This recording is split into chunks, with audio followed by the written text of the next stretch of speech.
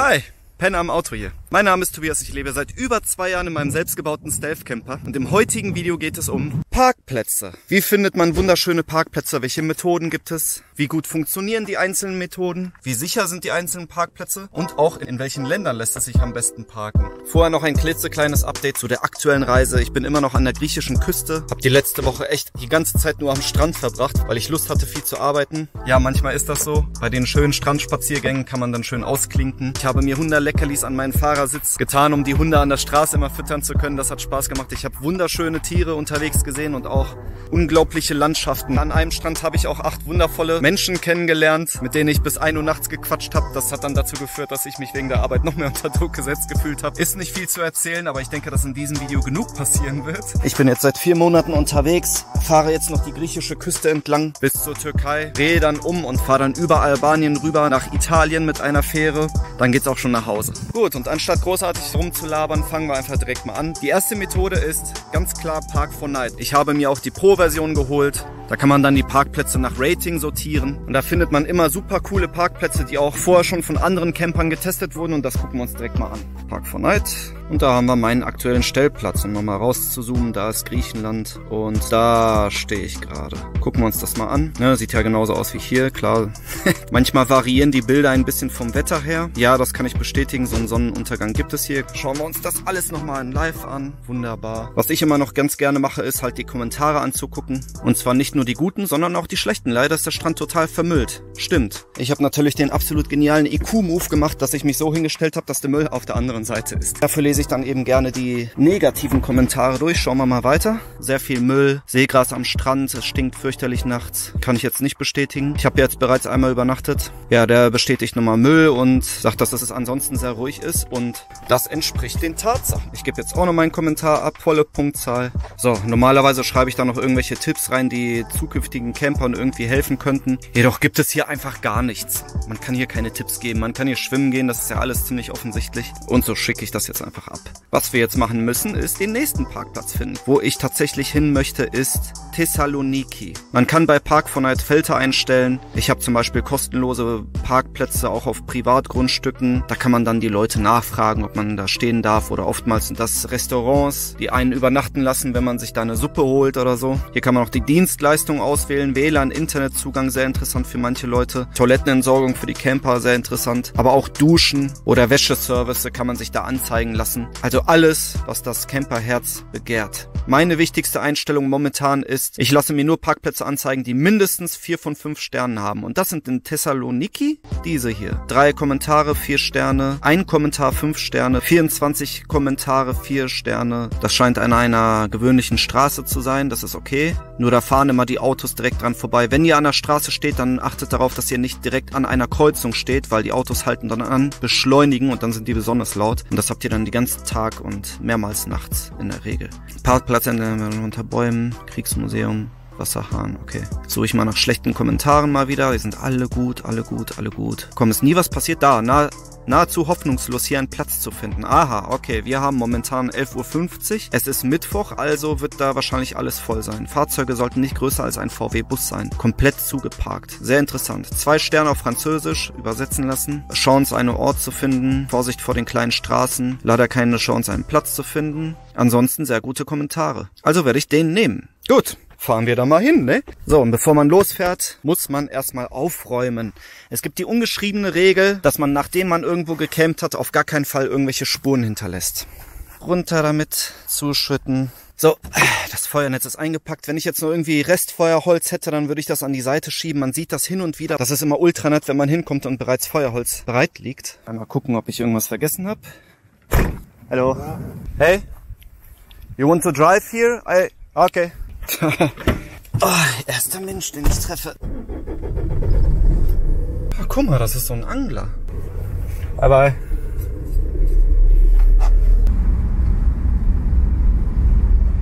Ja, so, da wären wir. Ja, hier ist viel Sonne, diese Bäume sind weg, aber es ist relativ zentral in der Stadt. Oh, das scheint ein anderer Camper zu sein dort. Ich schaue mal, dass ich hier einen Platz finde und dann schaue ich mir den Parkplatz nochmal von außen ganz genau an. Ja, das ist ein Camper.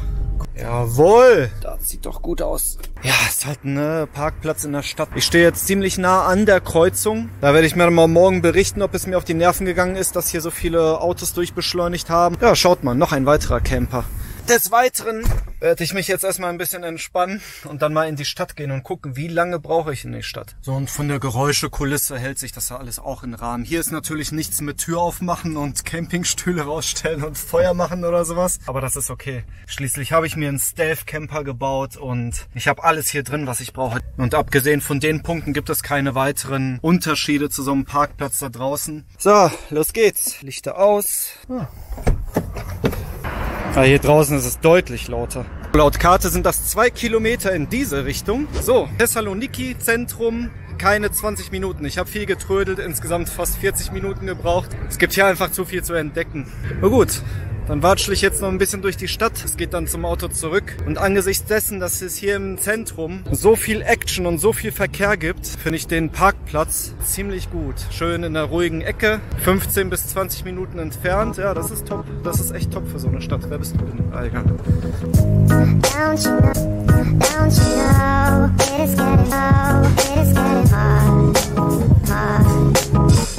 So, meine Schokohäschen, die Sonne verschwindet so langsam unten an der Küste gibt es Geschäfte, die bis vorne hinführen. Also der Parkplatz ist echt top. Ich käme nicht auf die Idee, mir hier ein Hotelzimmer zu nehmen. Auf gar keinen Fall.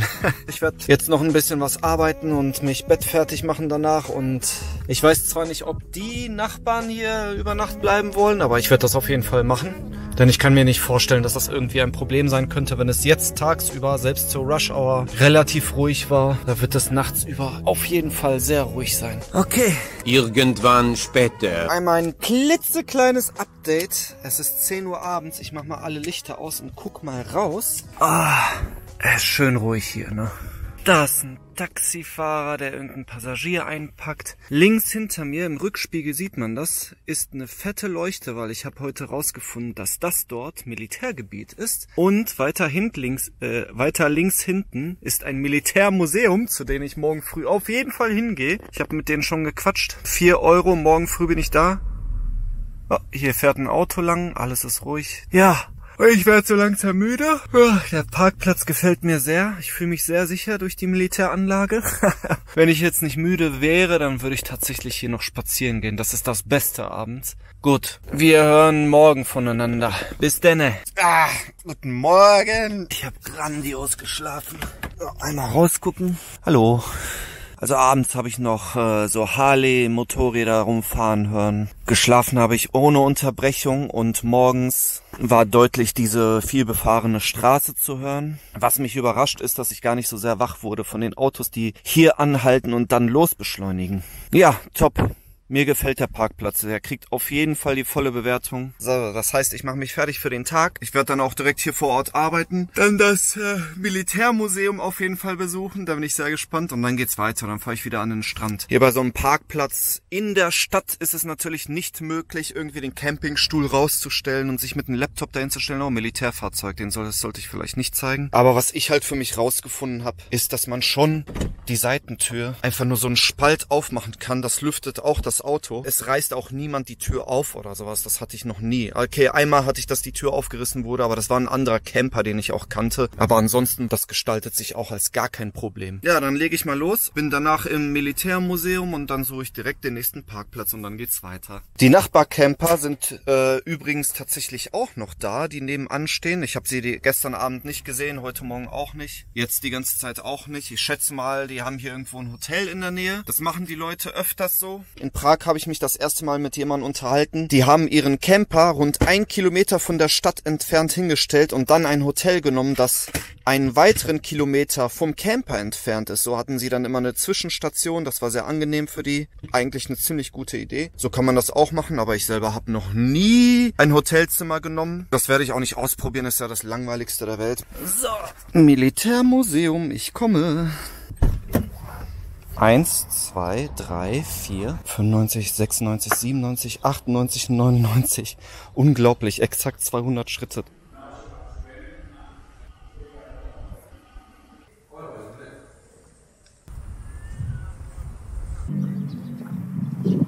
Yay. Wie immer, Park for Night, top. So, jetzt habe ich auf Park for Night noch einen Parkplatz gefunden, der sehr schlecht bewertet ist, weil dort ständig Autos aufgeknackt werden und das schauen wir uns jetzt auch mal an. Und zwar habe ich bei Google Maps hier so eine schöne Spitze gefunden. Da dachte ich mir, hey, hier will ich übernachten. Mal gucken, ob es da was bei Park for Night gibt. Ja, das gibt es. Und hier haben wir's. Im Kommentar. Nicht parken Einbruch. Haben gegen das Auto getreten und gucken, ob eine Alarmanlage da ist. Hier schreibt einer von organisierter Kriminalität. Ja, perfekt. Das schauen wir uns doch mal an.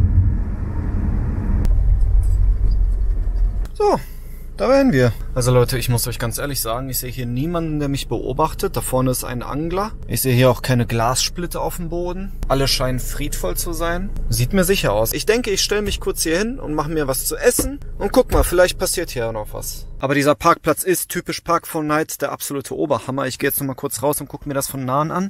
Hier haben wir einen Schiffswrack direkt am Strand. In Deutschland, in Schillig, gibt es auch einen, da kann man hinlatschen, wenn die Ebbe da ist. Ich habe leider meine GoPro nicht dabei, dann würde ich dorthin schwimmen. Das ist natürlich auch ziemlich traumhaft sowas. Ich gehe jetzt noch zur Spitze von dem Strand. Ah, schau mal, genau hier am Ende. Hier haben wir kleine Glassplitter von den Autos.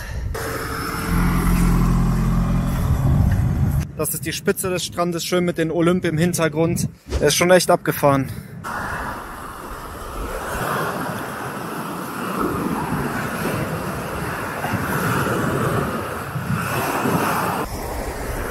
Das ist alles schön und gut. Ich habe kurz überlegt, hier zu übernachten, aber ich werde das sein lassen. Ich wollte ja ursprünglich den nächsten Parkplatz per Google Maps suchen, also per Satellitenbilder quasi.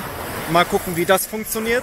Die Einbrüche, von denen wir da gelesen haben, die kommen wahrscheinlich sehr selten vor, nur bewertet ja nicht jeder sofort jeden Parkplatz außer es wurde eingebrochen. Wir sind jetzt auch in der Nebensaison. Die Kommentare, die dort gepostet wurden, die sind im September und November gepostet worden. Naja, ich packe auf jeden Fall jetzt die Sachen und suche mir meinen nächsten Parkplatz raus.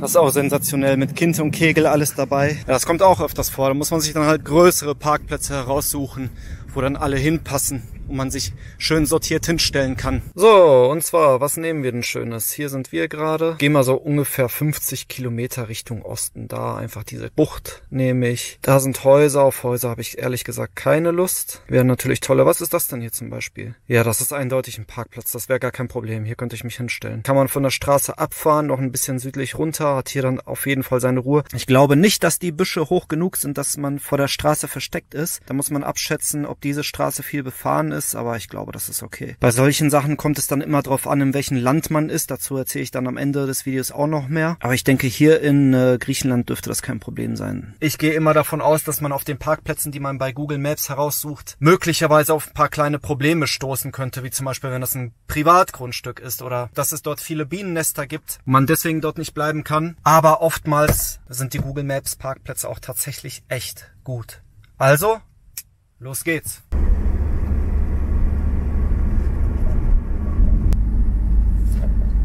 Hat ein bisschen länger gedauert als gedacht. Man sieht draußen mittlerweile gar nichts mehr. Mal schauen, ob nachts irgendwie ein Ranger oder Polizei... Boah, das hat sich gut angehört. Oder ob die Polizei vorbeikommt und mich wegscheucht. Ich bin aber auch fertig. Ich bin's echt nicht gewohnt, so lang zu fahren. Eigentlich fahre ich auch immer so eine Stunde und dann bleibe ich für drei Tage an der Stelle. Ja, von der Lautstärke ist das total gut hier. Da fährt ein Auto vorbei. Das hört man nur minimal. Die Wellen höre ich auch nicht, was stören kann. Aber hier ist es echt ideal. Ich wäre nicht der Penner im Auto, wenn ich nicht pennen gehen würde. Da bin ich mal gespannt. Morgen.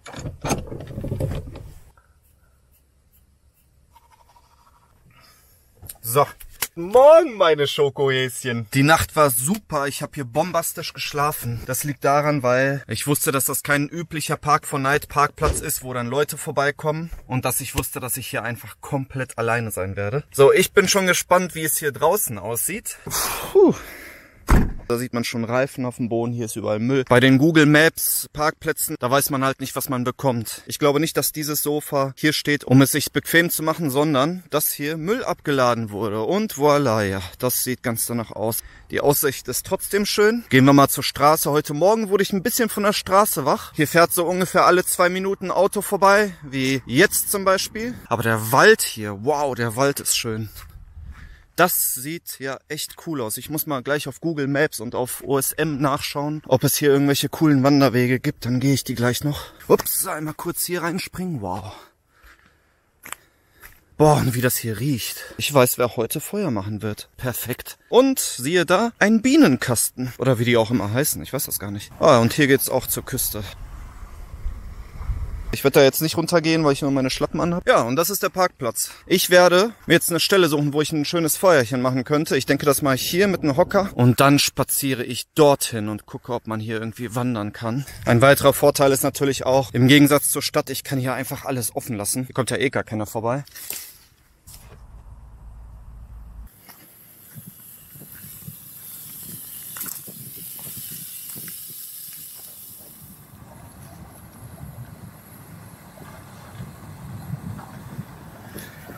Suchen wir mal den nächsten Parkplatz. Diesmal per Osmand OpenStreetMap. Da bin ich aktuell. Ich markiere den Parkplatz als erfolgreich gecampt und suche mir einfach die nächste Stelle raus. Bei OpenStreetMap sollte man wissen, dass das das Wikipedia der Karten ist und hier alles eingetragen ist. Selbst Sitzbänke und Mülltonnen findet man hier, was einen am Anfang ein bisschen überfordern kann. Hier habe ich zum Beispiel einen Parkplatz, der scheint in einem Dorf sein mit einem Fluss, der da durchgeht. Jetzt kann ich auf den Parkplatz draufgehen und mir auch anzeigen lassen, ob dieser als kostenpflichtig oder gratis notiert wurde. Wie ich gerade auch sehe, ist hier auch direkt eine Dusche nebenan. Also hier auf der Karte ist wirklich übertrieben viel eingetragen. Man kann auch selber Sachen dazu, beitragen, wie bei Wikipedia halt selber auch. Hier ist ein Naturschutzgebiet eingezeichnet. Da kann man dann zum Beispiel durch diese Wege wandern gehen. Hier ist noch in Blau ein offizieller Wanderweg eingezeichnet. Die sind meistens mega gut. Und ja, ich würde sagen, dass ich den hier als nächsten Parkplatz nehme. So, los geht's. Ab auf die Pferde. Ich habe grandios geschlafen. Ich danke dir vielmals, Parkplatz. So, Lidl-Parkplätze oder Parkplätze von Supermärkten allgemein. Das würde ich nicht empfehlen. Ich habe das in Auschwitz mal gemacht, dass ich tagsüber an so einem Parkplatz stand. Man kann auch übernachten, das wäre kein Problem. Jedoch hört man besonders aus Amerika immer wieder, dass die Parkplätze dann leergeräumt werden. Man sieht öfters auch Schilder an Eingang der Parkplätze, dass man nur bis 22 Uhr abends stehen darf. Also die sind sich schon dessen bewusst, dass manche Leute hier an solchen Parkplätzen auch übernachten. Deswegen würde ich nicht empfehlen. Ist im Notfall natürlich eine Option Option, aber schön ist anders. Aber abgesehen von den Supermarktparkplatz habe ich in dem Lidl gerade eine nette Dame gefunden, die mir persönlich einen Parkplatz empfohlen hat. Und das ist natürlich auch eine Möglichkeit, Parkplätze zu finden. Und das schauen wir uns jetzt mal an. Hallo nochmal. Welcher Strand war das nochmal? Ich habe den jetzt nicht gefunden. Den vom Rathaus? Genau. 14 Kilometer. Ja. Und hier ist äh, Amov Beach. Okay. Super. Vielleicht sieht man sich hier. Ja. Guck mal, die parken hier sogar mitten auf dem Kreisverkehr. Unglaublich.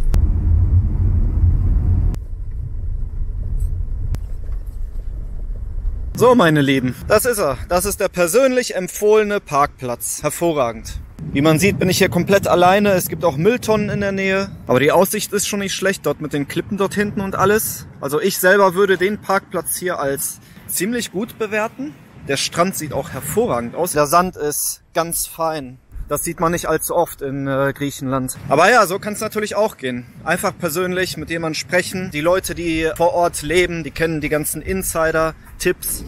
Und sowas hier kommt dann halt bei raus. Traumhaft. Einziges Manko ist halt eben, ist halt diese kleine Hürde, dass man halt mit Leuten in Kontakt stehen muss, um sowas zu finden. Ja, ich hoffe, ich konnte damit verdeutlichen. Persönliche Empfehlungen. Weiter geht's.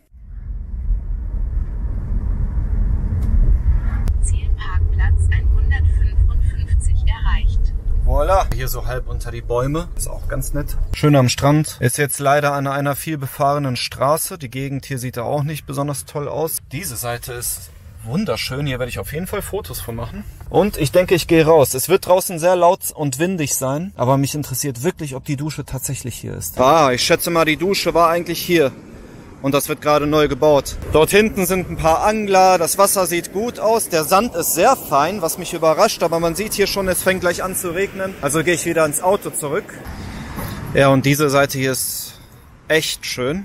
Bei OSM ist es halt immer auch so eine kleine Glückssache. Der klare Vorteil von OSM ist, dass man schnell an den unmöglichsten Stellen Parkplätze findet, weil die Leute tragen dort Parkplätze ein, die manchmal sehr gut versteckt sind. Ich empfehle dann OSM immer noch mit Google Maps, mit den Satellitenbildern zu kombinieren, dass man sich ein besseres Bild davon machen kann. Ich kann das halt dann einfach mit Google Maps teilen und dann habe ich sofort die Satellitenbilder der Umgebung da. Und da ahnt man da auch schon, dass es sich hierbei um ein Industriegebiet handelt. Habe ich jetzt vorher nicht gemacht, um einfach den Testeffekt zu haben. Ja, top. Mal gucken, was heute passiert. Und bin schon sehr gespannt, was diese Ecke hier so zu bieten hat. Ja, da bin ich aber gestern ordentlich weggepennt. Die Wellen machen kontinuierliche Rauschgeräusche. Bei dem Rauschen schlafe ich bombastisch. Wie die Geräuschkulisse ist, kann man auf der Karte leider nicht erkennen. Was ich hier aber vermute zu erkennen, ist, dass es hier in der Umgebung einfach nichts zu entdecken gibt. Aber ich will auf jeden Fall überprüfen, ob man die Karte richtig deuten kann. Ja, wow, das ist natürlich der absolute Hammer, wenn man die Tür aufmacht und sowas sieht. Das kommt erstmal direkt in den WhatsApp-Status. Ja, also die Straße ist natürlich sehr nah am Parkplatz gelegen, aber nachts über kamen gar keine Autos vorbei. Auch tagsüber habe ich das Gefühl, dass hier weniger Autos vorbeifahren als bei der Stelle, die ich mir per Google Maps herausgesucht habe. Aber das kann man natürlich nicht an den Karten erkennen, sondern das ist dann absoluter Zufall. Oh, ein paar Ferienwohnungen hier. Ein schickes Häuschen. Da oben läuft die Autobahn entlang, die wir auf der Karte gesehen haben. Also im Großen und Ganzen eher so ein kleines, ruhiges Eckchen. Ja, OpenStreetMap eignet sich eigentlich eher dazu, dass man im Notfall irgendeinen Parkplatz findet oder eine Mülltonne oder was tanzt du denn so? Oder dass man halt einen Parkplatz in der Nähe von irgendeiner Attraktion findet, wenn man zum Beispiel in den Europapark will. Das Gute ist, dass bei OpenStreetMap jeder etwas eintragen kann und das tun dann äh, vorzugsweise die örtlichen Personen, die dort leben und die wissen auch, was einfach als Parkplatz akzeptiert ist. Ob man jetzt hier stehen darf oder nicht, kann ich jetzt nicht wissen. Wäre das jedoch bei OpenStreetMap als Parkplatz eingetragen, dann würde ich mich skrupellos dorthin stellen. So, für mich geht's jetzt zurück zum Strand, dann zurück zum Auto. Danach testen wir noch die allerletzte Möglichkeit. Und zwar, wie ist es, einen Parkplatz komplett planlos zu suchen? Einfach an einer zufälligen Stelle in irgendwelche Straßen einzubiegen und zu versuchen, dort zu übernachten. So, dafür nehme ich einfach mein Telefon und setze den Timer auf, wo haben wir hier, eine Zahl, 03030, 30 Minuten, Start. So, wenn's klingelt, dann versuche ich einfach schnellstmöglich einen Parkplatz zu finden. Das ist schon irgendwie witzig. Ich versuche einfach Richtung Osten zu fahren und benutze meinen Kompass dafür. Das habe ich noch nie so gemacht. Ja, wir haben es verstanden. Ich halte hier nur kurz an, um den Wecker auszumachen. Also fahre ich weiter und suche dann den nächsten Stopp. Eine Minute später bin ich hier seitlich so einen Feldweg reingefahren. Ich habe das Gefühl, dass hier regelmäßig Autos vorbeifahren. Also geht's jetzt da weiter. Ich glaube, ich habe eine richtig gute Stelle gefunden. Es sind jetzt zwei Minuten vergangen. Den Weg bin ich noch bis dort hinten hingefahren. Warum ich nicht weiterfahren konnte, war, weil die Straße hier aufhört und weil irgendein Imker hier seine Honigkartons hingestellt hat. Aber abgesehen davon ist das doch ein ganz äh, schickes Plätzchen hier. Das soll halt einfach nur den Notfall repräsentieren, wenn man sich irgendwo hinstellt. Abhängig ist es dann natürlich auch, was für ein Fahrzeug man hat. Mit einem Stealth Camper ist die ganze Geschichte ziemlich leicht. Auf die Karte habe ich natürlich nicht geguckt. Ist irgendwie so ein kleines Abenteuer, hier die Umgebung per Fuß zu erforschen. Ach, sauber. Gibt's ein kleines Dörfchen in der Nähe.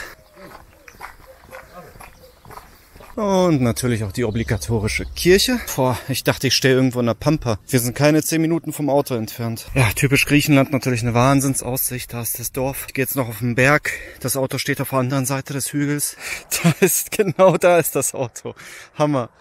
Bin ich ein bisschen überrascht, dass da direkt ein Dorf auf der anderen Seite des äh, Berges oder des Hügels ist. Da gab es auch Restaurants und man konnte sich Wasser ziehen. Ja, und äh, ist halt immer Zufall, wo man sich hinstellt. Aber dass man ein Dorf antrifft, kommt eigentlich gar nicht so selten vor, auch in Deutschland. Von daher ist dieser Parkplatz auch super repräsentativ für einen normalen, wilden Parkplatz, den man irgendwo findet. Das erinnert mich an Südfrankreich kurz vor den Alpen. Ja, eine weitere Möglichkeit wäre es noch, einen Campingplatz anzusteuern. Man kann sich das halt denken, wie das ist. Hier in der Nähe gibt es leider auch keinen Campingplatz. Deswegen lassen wir das einfach mal weg. Es ist auch so, dass Vanlife in der ursprünglichen Form eigentlich gar nicht auf Campingplätzen stattfindet, sondern dass man da immer wild wild campt. Ja, und das sind sie, die Methoden, um Parkplätze zu finden. Krieg der Parkplätze. Um das nochmal schnell zusammenzufassen, klare Nummer eins ist Park for Night. Das hört man aber auch von allen möglichen Leuten. Man hat die Möglichkeit, sich zu sozialisieren, andere Leute zu treffen. Besonders wertvoll sind natürlich die Kommentare. So hat man vorher die größte Chance herauszufinden, womit man es da zu tun hat, bevor man noch hinfährt. Oder auch, wenn man einfach nur in der Wildnis alleine stehen will, ist Park for Night so ziemlich die beste Option. Dann am zweitbeliebtesten, was man auch regelmäßig hört, ist, dass die Leute Google Maps benutzen. Ich selber bin kein Fan davon, weil es auch immer so ein bisschen schwer ist, die Satellitenbilder richtig zu deuten. Man weiß nicht, ob die Stelle an der Straße einfach nur eine Bucht ist, damit man dem Gegenverkehr ausweichen kann oder ob man da tatsächlich parken kann. Da bevorzuge ich tatsächlich OpenStreetMap,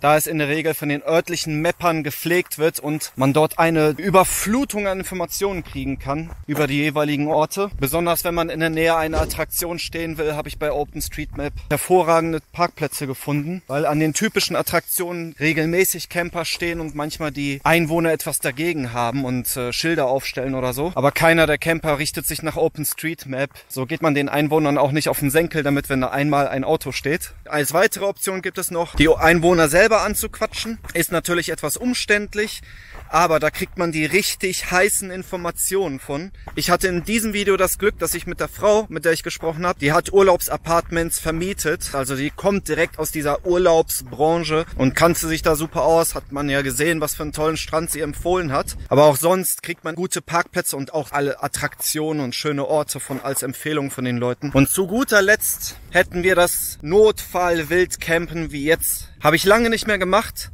Das gefällt mir jetzt gerade so sehr, dass ich glaube, dass ich das öfters mache. Das hat ein bisschen Abenteuer-Feeling. Aber da ist es dann natürlich besonders davon abhängig, in welchem Land man ist und was für ein Fahrzeug man hat. Und dazu möchte ich jetzt auch sofort kommen. Ich werde auf jeden Fall ein Video dazu machen zum Thema Stealth Camper. Stealth Camper bedeutet, dass man nicht ad hoc erkennt, dass ich ein Campingfahrzeug habe. Für mich ein ganz klarer Vorteil. Deswegen habe ich mir auch einen Stealth Camper geholt. Und ich freue mich schon auf das Video, das ich dazu machen kann, weil da gibt es massig Informationen zu. Besonders dankbar Europa war ich jetzt in ein paar Balkanländer, durch die ich durchgefahren bin, womit ich jetzt auch direkt zum Thema Länder rüberschwanken will. Und zwar fangen wir mit Deutschland an. In Deutschland ist das Camping per se nicht erlaubt. Campen bedeutet in Deutschland, dass man einen Stuhl oder einen Tisch rausstellt. Auch wenn man alleine schon einen Hocker vor das Auto stellt, das zählt rechtlich gesehen schon als Camping. Natürlich wird das nicht immer knallhart durchgezogen. Jedoch habe ich mich anhand dieser Richtlinien beim Bau des Fahrzeugs orientiert. Frankreich zum Beispiel ist da anders. Da kann man stehen und tun und lassen, was man man will, dass das Campen nicht nur erlaubt, sondern man ist sogar willkommen als Camper. Eine ganz andere Mentalität wie zum Beispiel Slowenien. Das war das erste Land, wo sie wirklich rabiat gegen Camper vorgegangen sind, was ich da ein bisschen schade finde. Kroatien gilt eigentlich auch als einer der Länder, wo sie die Camper jagen. Ich persönlich fand es da jetzt etwas entspannter als in Slowenien. Also was ich da in den Park for Night in den Kommentaren gelesen habe, wo sie morgens auf die Motorhaube draufhauen oder ständig die Polizei Strafzettel verteilt. Das hörte sich schon echt übel an. Das hatte ich zum Glück nicht so erlebt. Danach in äh, Montenegro, Albanien und jetzt in Griechenland habe ich keinerlei Probleme. Ich will dann jetzt noch nach Italien rüberfahren. Da soll es problematischer sein, wild zu campen. Und was ich gehört habe, dass es in Portugal und auch in Spanien ein wenig schwerer geworden ist. Portugal wollte ich äh, eventuell nächsten Winter einmal begutachten. Ich bin mir noch nicht sicher, ob ich dahin fahre. Aber wenn, dann werde ich auf jeden Fall davon berichten. Und ansonsten war ich noch in Polen, Litauen, äh, Tschechien, Schweden, natürlich Frankreich habe ich bereits erwähnt. Schweiz, Österreich, England und noch einige Länder und habe ich nichts zu bemängeln, da hatte ich nirgendwo Probleme bei. In England war es das Problem mit den Parkplätzen speziell, da ganz England in Privatgrundstücke aufgeteilt ist. Das war für mich sehr, sehr skurril. Ich glaube, das hatte was damit zu tun, weil Cäsar da mal dahin kam und dann das Land einfach aufgeteilt hat. Deswegen ist es dort schwer, einen guten Parkplatz zu finden. Und wenn man einen Parkplatz findet, dann ist das vielleicht in der Bucht drin und man hat von morgens bis abends die Autos vorbeischießen. Das war schon übel, aber ich hatte keine Probleme mit Leuten, die mich verscheuchen wollten oder sowas. Da muss man sich vorher vielleicht ein bisschen informieren, einfach mal googeln, Land, Wildcampen eingeben und es gibt unzählige Foren, wo dann die richtigen Informationen aufgelistet sind. So.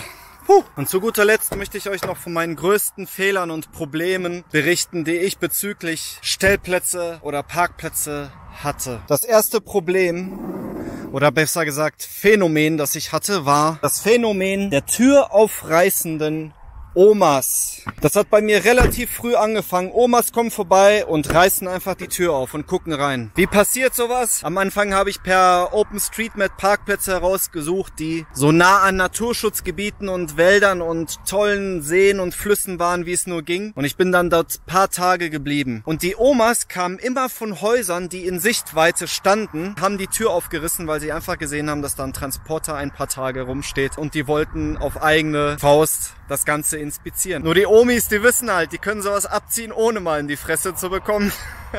also machen sie es einfach. Sehr gut. Dann gab es natürlich noch Auseinandersetzungen mit der Polizei, einmal in meiner Heimatstadt. Da stand ich etwas weiter außerhalb auf einem Berg. Da waren auch Häuser in der Nähe. Ich nehme an, die haben die Polizei gerufen, haben gefragt, was ich da mache, haben mich gebeten weiterzufahren, da es sich auch um eine Anliegerstraße handelte. Ja, dann bin ich weitergefahren und das war's eigentlich auch schon. Die nächste Polizeistory war in Polen. Da stand ich an einem tollen See in einem Waldstückchen. Da habe ich im Auto dann laut Musik über Kopfhörer gehört und nicht gemerkt, dass die geklopft haben. Die haben gerüttelt und versucht, die Türen aufzureißen. Ich habe es dann über die Vibration des Fahrzeugs gemerkt, dass da jemand draußen ist. Macht die Tür auf und die waren total aggro, weil die dachten, ich würde, weiß nicht, ich weiß nicht, warum die so aggro waren. Als die dann gesehen haben, dass da eine Bude drin war, haben die plötzlich ihr Regiebuch im Kopf verloren und waren auch total baff und haben mich dann auch da gelassen. Ich nehme an, der Ort war für die polnische Polizei ein bisschen zu suspekt, an dem ich da stand. Die nächsthöhere Eskalationsstufe waren dann tatsächlich Auseinandersetzungen mit dem Militär. Falls euch das mal passiert, braucht ihr gar nicht aufgeregt sein. Das war einmal in Schweden, bei Karlshamn in der Nähe. Und zwar hatten die dort äh, riesige U-Boote in dem Militärhafen und ich habe in der Nähe von der Kaserne übernachtet und die kamen vorbei und haben Fotos gemacht. Als ich das gesehen habe, habe ich natürlich sofort die Tür aufgerissen habe gefragt, ob alles okay ist und die ja, ja, wir, wir machen nur Fotos, um die Umgebung zu dokumentieren. Wenn die Fotos von etwas machen, dann ist das nicht in Ordnung, deswegen bin ich da einfach weitergefahren und das zweite Mal war mit dem polnischen Militär, als ich an der russischen Grenze zu Kaliningrad war. Da habe ich ungefähr einen Kilometer von der Grenze übernachtet und das war nicht okay. Die sind abends vorbeigekommen, haben meine kompletten Dokumente durchschaut. Ich habe denen angeboten wegzufahren. Die sagten, nö, sie können hier übernachten. Am nächsten Tag bin ich wach geworden, wurde nochmal komplett überprüft. Da war dann ein hoch hochrangiger Offizier mit dabei, der dann sagte, Mr. Tobias, ich würde Ihnen raten, dass Sie weiterfahren. Und beim Weiterfahren habe ich gemerkt, dass die mit den unterschiedlichsten Fahrzeugen sich um mein Fahrzeug herumgestellt haben mich quasi die ganze Nacht überwacht haben. Also ich nehme an, da stand ich tatsächlich schon mit einem Fuß im Knast. Übernachten an Grenzen, besonders bei Ländern, die, mit denen wir irgendwie Konflikte haben, würde ich nicht empfehlen. So zum Übernachten hat er mir empfohlen, mehrere Kilometer Abstand zur Grenze zu halten. Ja, und zu guter Letzt waren natürlich auch noch die Einbrüche oder die versuchten Einbrüche bei mir ziemlich beschissene Situation, die ich hatte. Das war einmal in Tschechien, in Telč. Da stand ich weiter weg von der Stadt, auch mehrere Tage. Genauer beschrieben habe ich das in dem Sicherheitsvideo. Genau wie die zwei anderen versuchten Einbrüche. Das waren dann beides in äh, Südfrankreich. Einmal genau in der Mitte der Côte d'Azur und einmal in der Nähe von Marseille, wo es bekanntlicherweise viel Kriminalität gibt. Nochmal würde ich mich an so kriminellen Ecken nicht aufhalten. Das lohnt sich in der Regel einfach nicht. Ja, Endlich! Mich freut es gewaltig, dass ich das Thema endlich ausbreiten konnte. Die Wahl des Parkplatzes ist natürlich super wichtig. Und ich denke, ich habe alles angesprochen. Falls ihr noch irgendwelche Methoden oder Tipps oder irgendetwas habt, schreibt mich auf jeden Fall an. Mich interessiert das alles brennend.